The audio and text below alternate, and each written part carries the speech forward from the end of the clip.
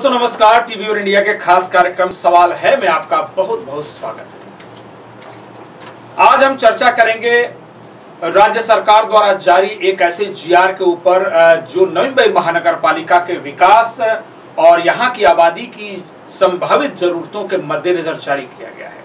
इस जीआर की वजह से सिडको ऐसे भूखंडों को बेचने में जुटी है, जो 500 स्क्वायर मीटर से ज़्यादा के हैं।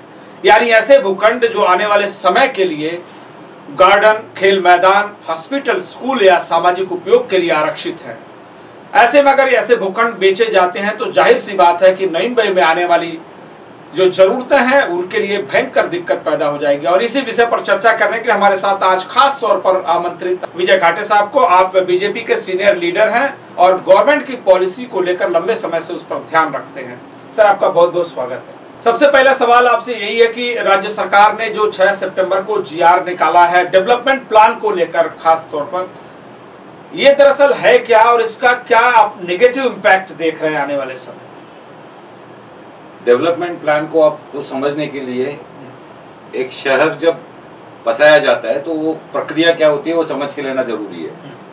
कोई भी शहर अगर नया बसाया जाता है तो उस शहर में जो आबादी आने वाली रहेगी समझो आज अगर 2021 में अगर हम लोग शहर बसा रहे हैं तो 2041 इकतालीस यानी 20 साल के लिए कितना पॉपुलेशन होगा उस हिसाब से जो क्षेत्रफल के ऊपर ये शहर बसने जा रहा है उसमें कुछ परसेंटेज ये सार्वजनिक यूटिलिटी के लिए रखे जाते हैं पब्लिक यूटिलिटी के लिए। जिसके अंदर प्लेग्राउंड होते हैं रोड होता है हॉस्पिटल्स होते हैं स्कूल्स होते हैं जो हमको दैनंदिन जीवन में जिसकी ज़रूरत होती है। अब नवी मुंबई की जब हम लोग बात करेंगे तो ये लोगों को जानना ज़रूरी है कि नवी मुंबई म्यूनिसिपल कॉरपोरेशन ये 1994 में आई है। यस हाँ। लेकिन सिडको ने नवी मुंबई शहर बसाया हुआ है। अब सिडको ने जो नवी मुंबई शहर बसाया वो टोटल स्क्वायर एरिया था तीन सौ चौवन स्क्वायर किलोमीटर। और 1985 में इस शहर का डेवलपमेंट प्लान है ना तीन स्क्वायर किलोमीटर का प्लान बनाया हुआ था और वो बनाते समय 2005 में सिडको के डेवलपमेंट प्लान के हिसाब से 20 लाख के करीब आबादी आनी चाहिए थी ये मेरी जानकारी है। और 20 लाख की जानकारी के लिए जित 20 लाख की आबादी के- लिए। जितना रिजर्वेशन चाहिए उतना ही उन्होंने रखा हुआ था। 1994 में एग्जिस्टेंस में नवी मुंबई म्यूनिसिपल कॉर्पोरेशन आ गई 109 स्क्वायर किलोमीटर पे। यानी तीन में से 109 स्क्वायर किलोमीटर पे नवी मुंबई म्यूनिसिपल कॉर्पोरेशन आ गई। उन्होंने आते ही डेवलपमेंट प्लान करना चाहिए था। लेकिन किस कारणवश ये मुझे पता नहीं लेकिन वो प्लान 2017 तक हो नहीं पाया। अच्छा। 2017 में नवी मुंबई म्यूनिसिपल कॉर्पोरेशन ने सिडको को इन्फॉर्म कर दिया कि भाई हम डेवलपमेंट प्लान बनाने जा रहे हैं अपने 109 स्क्वायर किलोमीटर के लिए। ओके हाँ तो अभी जितने भी ओपन प्लॉट्स है जिसके ऊपर सिडको ने भी आरक्षण रखा हुआ था और जो ओपन प्लॉट विदाउट आरक्षण थे जिसके ऊपर प्रस्ताव डाले जाने वाले थे तो उस बारे में कोई भी निर्णय लेते समय सिडको प्लानिंग अथॉरिटी करके नवी मुंबई म्यूनिसिपल कॉर्पोरेशन से कंसल्ट करे। ये लेटर दे दिया था 2017 में। महानगर पालिका ने महानगर। अप्रोच किया था। अप्रोच किया था। सिडको ने उसके बारे में कोई भी अपना कम्युनिकेशन रखा नहीं। फीडबैक नहीं दिया। फीडबैक नहीं दे दिया। 2019 दिसंबर में डेवलपमेंट प्लान प्रोसेस के हिसाब से महासभा को दिया गया। नवी मुंबई महानगर पालिका के महासभा को। अब उस महासभा में नवी मुंबई के लोक प्रतिनिधि पार्षद करके वहाँ पे रहते हैं नगर सेवक रहते हैं। उनको दे दिया। उन्होंने ये देखने के बाद कुछ उसके अंदर 221 के करीब करेक्शन सजेस्ट किए। और वो पब्लिक सजेशन और ऑब्जेक्शन के लिए होना था। यानी पेपर में उसको दे देते हैं ऐड दे देते हैं। पब्लिश कि भाई पब्लिश होना ज़रूरी था। तो पब्लिश का मान्यता के लिए महासभा की मान्यता ले ली। 221 उसके अंदर करेक्शंस थे वो करेक्शंस हो गए और जाके महापौर के पास फरवरी में गठन नेता यानी महासभा में जो हर एक पार्टी के प्रमुख रहते हैं उनकी बैठक महापौर ने ले ली और वो 221 इम्पोज हो गए करेक्शंस ये कंफर्म कर दिया और उसको आगे पब्लिश करने के लिए रखा। फरवरी publish- 2020 2020 में। Okay. उस वक्त कोरोना की आहट हो चुकी थी। अनफॉर्चुनेटली 2020 मार्च में कोरोना का लॉकडाउन चालू हो गया। अब कोरोना का लॉकडाउन चालू हो गया महानगर पालिका के टाउन प्लानिंग डिपार्टमेंट का जो काम था पब्लिश करना वगैरह उनको कोरोना के अंदर कोई भी ड्यूटी दी गई नहीं थी। यानी कोरोना के लिए हर एक डिपार्टमेंट के ऑफिसर्स वगैरह थे, वो लॉकडाउन वगैरह, उनकी जो इंटरनल सिस्टम चल रहा था, काम चल रहा था, उसके ऊपर ड्यूटी देती। टाउन प्लानिंग एक ही डिपार्टमेंट ऐसा था जिसके पास कोई काम दिया नहीं था कोरोना को, कोरोना रिलेटेड वो सिर्फ़ सीसी और ओसी कर रहे थे, लेकिन उन्होंने ये पब्लिक सजेशन ऑब्जेक्शन के लिए पब्लिश किया नहीं। एडीटीपी डीपी प्लान पब्लिश नहीं पब्लिश नहीं किया। डीपी प्लान पब्लिश नहीं एडीटीपी हेमंत ठाकुर थे उन्होंने ये फ़ाइल अपने पास ही रखी उसके ऊपर कोई काम नहीं किया। किया। अब उसका एक पीरियड रहता है पब्लिश करने का। अनफॉर्चुनेटली वो पीरियड लैप्स हो गया पब्लिश करने के लिए। उसका एक प्रोसेस है कि जो कॉमन है डायरेक्टर से उनका एक्सटेंशन लिया जाता है। वो एक्सटेंशन के लिए ऑनरेबल कमिश्नर ने डॉक्यूमेंटेशन किया एक्सटेंशन मिल गया।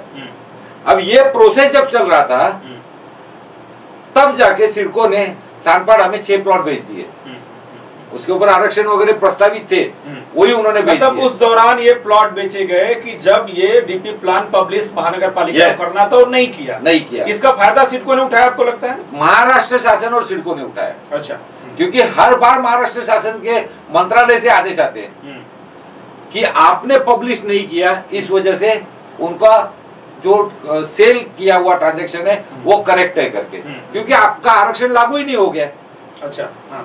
हकीकत बात यह है कि नवी मुंबई म्युनिसिपल कॉर्पोरेशन ने जब डीपी प्लान किया हम्म, तो वो 109 स्क्वायर किलोमीटर के लिए था अगले 20 साल के लिए था और पॉपुलेशन सिर्फ़ 109 किलोमीटर में एक्सपेक्टेड पॉपुलेशन 30 लाख का है। हाँ अब ये 30 लाख कहा और तीन किलोमीटर का 20 लाख पॉपुलेशन का ये लोगों को समझ में आना चाहिए कि हमारे पास नवी मुंबई म्युनिसिपल कॉर्पोरेशन के आरक्षित जो भूखंड थे 109 स्क्वायर किलोमीटर में उसकी संख्या ही मूलतः कम थी।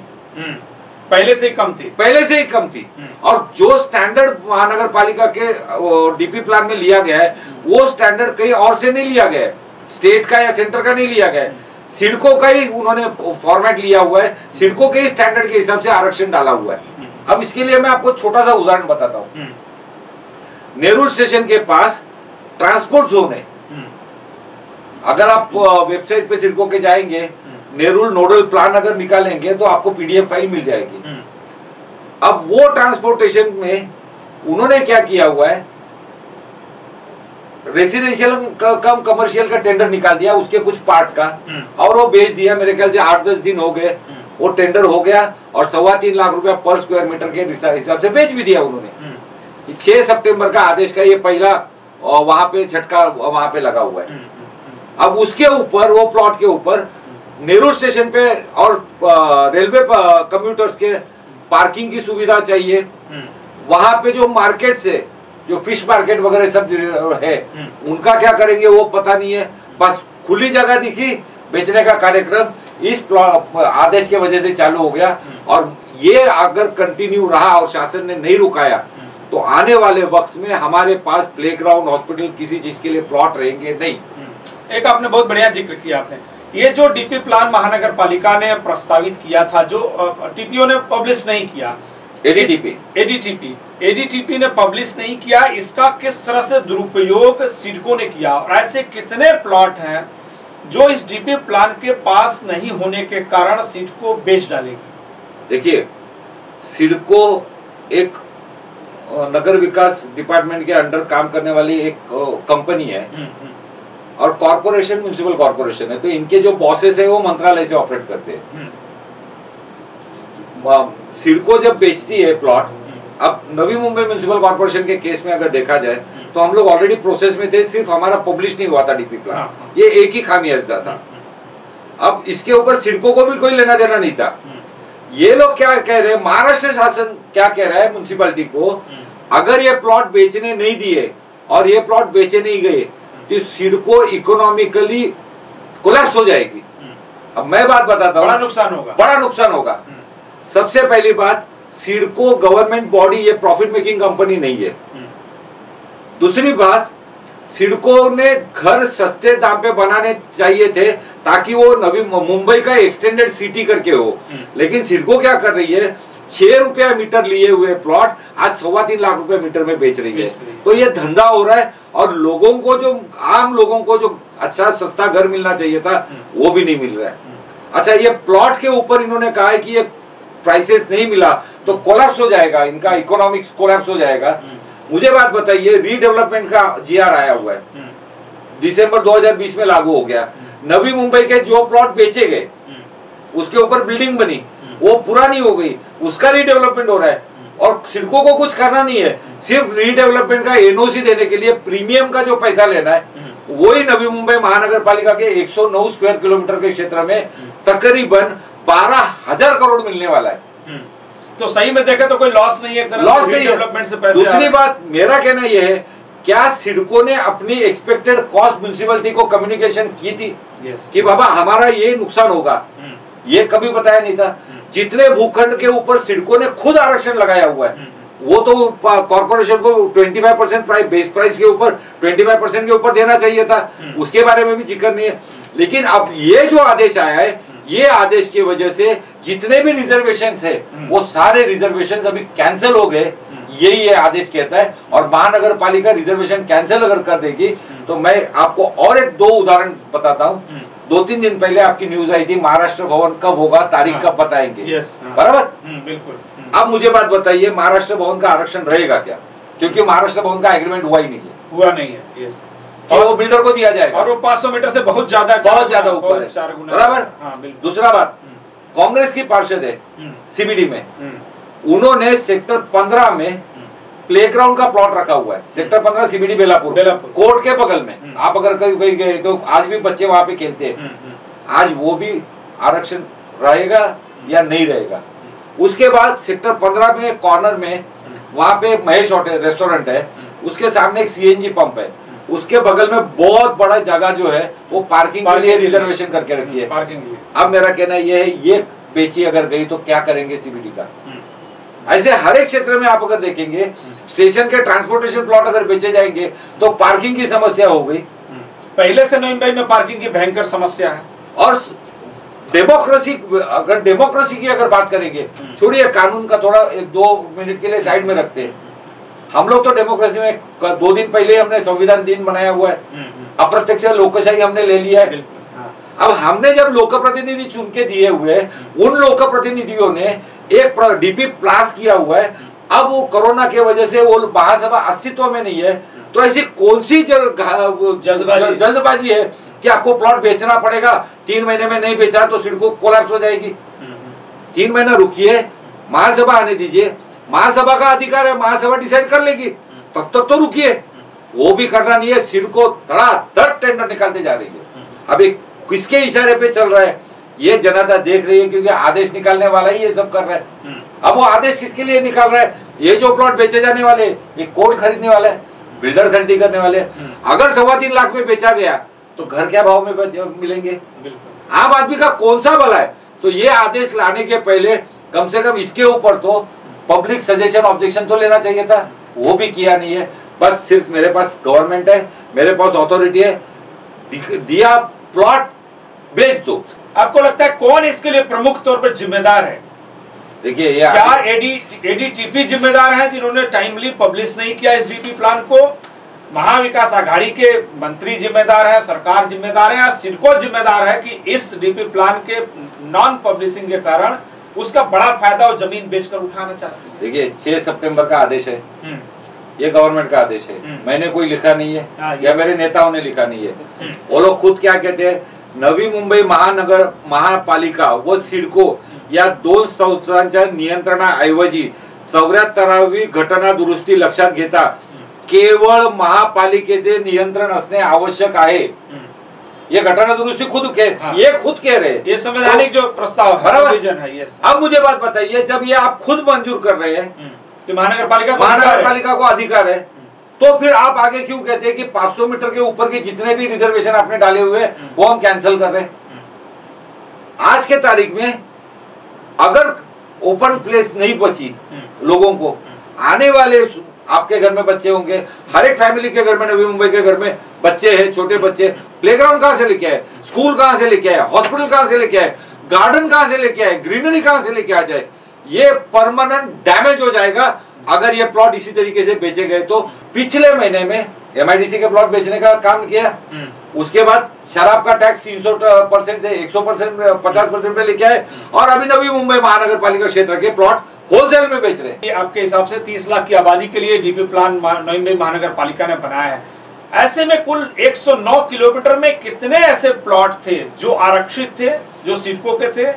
और इस नए जीआर के बाद उसमें से यूटिलिटी प्लॉट जो है बेच दिए जाएँगे और अब क्या जो बचे हुए प्लॉट रहेंगे, वो 30 लाख की संभावित आबादी के लिए जो जरूरतें हैं, जो पार्किंग की, खेल मैदान की हॉस्पिटल स्कूल्स की और दूसरे सामाजिक केंद्र के लिए क्या वो जगह पर्याप्त होगी?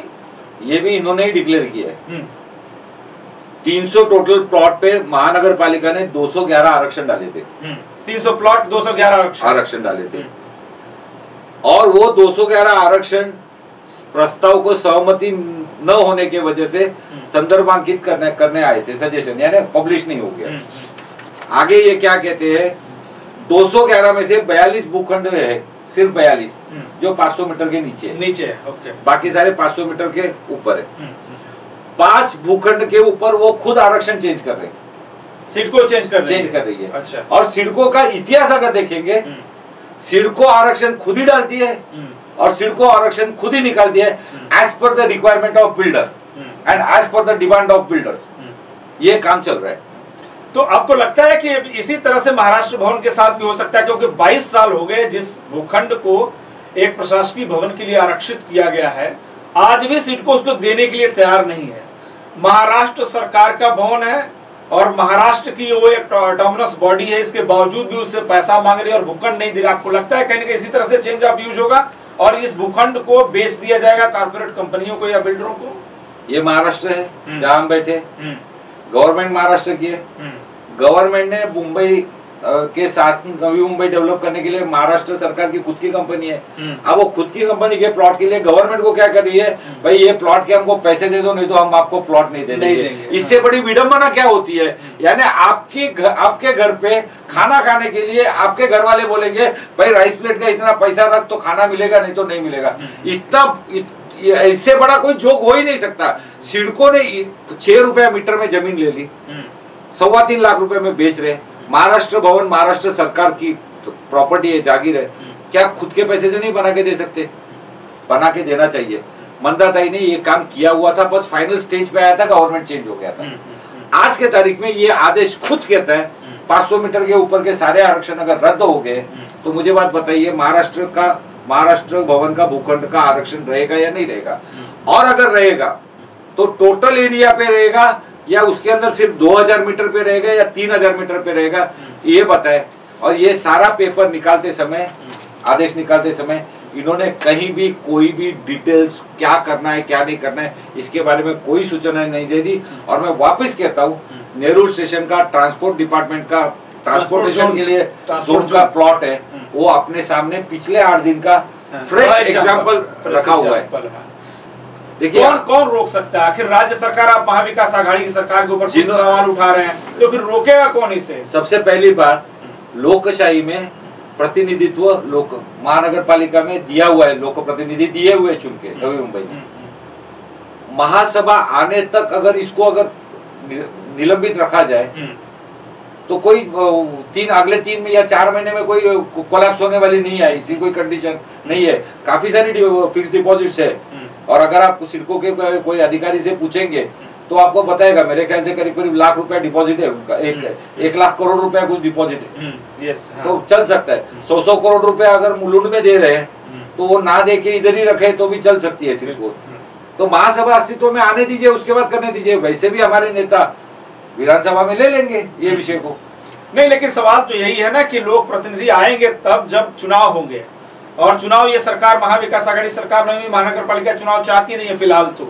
तो अगर ऐसा ही है तो इसका मतलब है कि ना तो डीपी प्लान पास होगा, नए जीआर का फ़ायदा उठाकर सीट को और भी सारे प्लॉट्स बेचेगी। अब जैसे आप खुद ज़िक्र कर रहे हैं कि 211 प्लॉट पर आरक्षण था, अगर उसमें 500 मीटर से ज़्यादा का प्लॉट जिसको आरक्षण रद्द किया गया, अगर उसको ले लें तो बचेंगे सिर्फ़ नवासी, जिसमें से पाँच और निकल गए।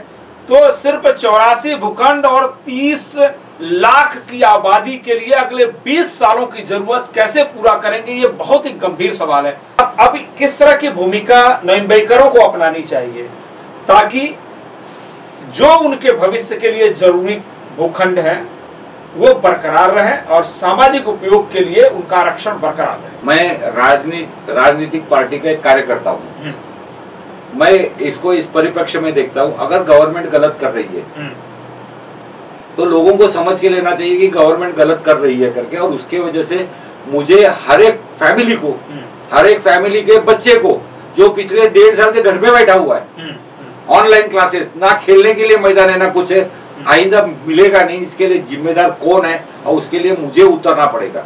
हम्म, दूसरी बात चुनाव आ रहे हैं नवी मुंबई में चुनाव के वक्त इन्हीं लोक प्रतिनिधियों के इन्हीं के सरकार के लोक प्रतिनिधि जो चुनाव के लिए वोट मांगने आएँगे उनको ये सवाल पूछना पड़ेगा आपके गवर्नमेंट ने ये हमारा परमानेंट डैमेज करने का जो पॉलिसी अडॉप्ट किया है वो पहला विड्रॉ करो उसके बाद वोट मांगने के लिए आ जाओ और उसका निर्णय जनता ने खुद लेना चाहिए। भावना विवश कोई भी निर्णय नहीं लेना चाहिए क्योंकि ये जो भी बातें हैं वो हमारे लिए नहीं है हमारे आने वाले अगली पीढ़ी के लिए है। अगर हमने अपना फाइट करके मैदान grounds open grounds play grounds plots नहीं बचाए तो ये परमानेंट डैमेज सिटी का हो जाएगा और रहेगी तो सिर्फ़ इमारतें और कुछ नहीं होगा। डेमोक्रेसी ने जो अधिकार नागरिकों को दिया हुआ है, वो लेना चाहिए। वैसे भी मेरे सुनने में आया हुआ है कि कोई आदमी, कोई दो तीन हमारे दोस्त है, एनजीओ है, वो शायद हाईकोर्ट में पीआईएल फ़ाइल करने के प्रोसेस में है। आखिरी सवाल, एक दो सवाल है। लगातार पालक मंत्री एकनाथ शिंदे नई मुंबई में आ रहे हैं, नगर विकास खाता उनके पास है, और उनकी ज़िम्मेदारी है एक पालक मंत्री के नाते कि इस सिटी का पालकत्व तो सही तरीके से संभालें। और यहाँ के नागरिकों की भविष्य की भावी सुविधाओं को, भावी जरूरतों को देखते हुए उसका सही तरीके से नियोजन करें। दूसरी तरफ़ डिप्टी सीएम लगातार सीट को एमएमआरडी और नई महानगर पालिका में आ रहे हैं। और ये दोनों बड़े नेताओं का और जो दूसरे मंत्री हैं, उनका बार बार यही कहना है कि महाविकास आघाड़ी सरकार नई मुंबई के ऊपर विशेष ध्यान दे रही है। अगर यही खेल है ज़मीन बेचने का तो क्या आपको नहीं लगता कि ये जो ध्यान देने वाली बात है, कहीं और है? जबकि जरूरतें तो नेग्लेक्ट की जा रही है। मुझे कहना नहीं चाहिए। ये आदेश प्रूव करता है कि नवी मुंबई में कितने खाली प्लॉट पड़े हुए हैं, किसको बेचना है, क्या बेचना है यही डिसीज़न लेने के लिए नवी मुंबई में सारे बाहर के लोग जो आ रहे हैं क्योंकि नवी मुंबई का कोई भी स्थानिक नेता अपने जनता के प्रति इस तरीके का काम इस तरीके का खेला कभी करेगा नहीं चाहे कोई भी पार्टी का हो। लेकिन वो नहीं कर सकता क्योंकि नवी मुंबई में उनको भी रहना है। तो इसके लिए लोगों ने ध्यान देना चाहिए और लोगों ने थोड़ा आग्रह की भूमिका करनी चाहिए। घर पे बैठ के कुछ नहीं होगा आपको उतरना पड़ेगा लोकशाही ने आपको अधिकार दिया हुआ है। एक आखिरी सवाल इस वक्त नई मुंबई महानगर पालिका में नगर सेवक नहीं है और ये चूँकि प्रशासकीय व्यवस्था चल रही है, सिटको में संचालक नहीं है तो ये पूरा कामकाज जो है राज्य सरकार और पालक मंत्री और जो संबंधित मंत्रालय है, उनके अधीन चल रहा है। कि एक तरफ़ ये कहा जा रहा था कि लोक प्रतिनिधित्व तो ज़्यादा होना चाहिए ताकि जनता की सुनवाई हो, लेकिन यहाँ इस तरह की चीज़ें दिख रही हैं कि सारा का सारा काम ब्यूरोक्रेसी के ज़रिए चल रहा है। तो आपको इससे कितना बड़ा नेगेटिव इम्पैक्ट आपको दिख रहा है कि अगर ऐसा ही रहा ये देश के नंबर दो के रहने लायक शहर मुंबई को बदहाल कर देगी और बुरा हालत इसकी कर देगी। देखिए कोई भी चीज़ हम लोग अच्छी तरीके से तब करते हैं जब हमारे उस चीज़ के प्रति पैशन हो लगाव हो। जैसे ये सरकार का पैशन क्या है? कलेक्शन तो वो कहीं भी जाए कलेक्शन अच्छी तरीके से कर लेती है। और नवी मुंबई के हमारे जो नेता है उनका पैशन क्या है? कि नवी मुंबई अच्छा से अच्छा हो साफ़ सुथरा हो उसको अवार्ड और नवी मुंबई के आखिरी इंसान को वो सुविधा मिले। केंद्रीय सचिव ने खुद कहा है कि नवी मुंबई में वो पोटेंशियल है। इंदौर को पीछे रखने वाला कोई अगर शहर है तो वो नवी मुंबई है। हम उस तरफ़ काम करें रहे हैं। अरे लेकिन आप जो है वो बेचना शुरू कर दिया है। अब क्या रेलवे के ऊपर की जगह भी बेचे बेचेंगे? अभी ये हालत में पहुँचे हैं। इसके लिए जनता को हमारा साथ देना पड़ेगा जनता को उतरना पड़ेगा और जनता को समझना पड़ेगा जो जो आदमी अगले तीन महीने में वोट मांगने को आने वाला है उसके आका ने नवी मुंबई में क्या कांड करके रखा हुआ है ये उनको समझ के लेना पड़ेगा। और ये सारा फसाद का जड़ जो है वो एडीटीपी हेमंत ठाकुर है जिन्होंने ये फ़ाइल पिछले एक साल से दबा के रखी पब्लिश होने नहीं दे दी। गाड़ी साहब, बहुत बहुत थैंक यू जैसा आपने ज़िक्र किया कि कहीं ना कहीं जो डीपी प्लान पब्लिश नहीं हुआ है, उसके लिए जिम्मेदार एडीटीपी एडीटीपी है और सिडको है, जो पैसे की लालच में यूटिलिटी भूखंडों को बेचने में जुटी हुई है और नोइंबई को एक ऐसी दिशा में ले जाने की कोशिश में लगी है, जहाँ सिर्फ़ कंक्रीट के जंगल तो खड़े होंगे, लेकिन सुविधाएँ नहीं होंगी और लोग परेशान होंगे। आज का सवाल है, कार्यक्रम में बस इतना ही। अगली बार हम फिर किसी नए सवाल के साथ दोबारा आपसे रूबरू होंगे। तब तक दीजिए हमें इजाज़त, लेकिन आप देखते रहिए खबरों का नया अड्डा, टीवी वन इंडिया। नमस्कार। लेटेस्ट अपडेट्स और ताज़ा तरीन खबरों के लिए टीवी वन इंडिया लाइव को सब्सक्राइब कीजिए और नोटिफिकेशन पाने के लिए बेल आइकॉन को दबाना मत भूलिए।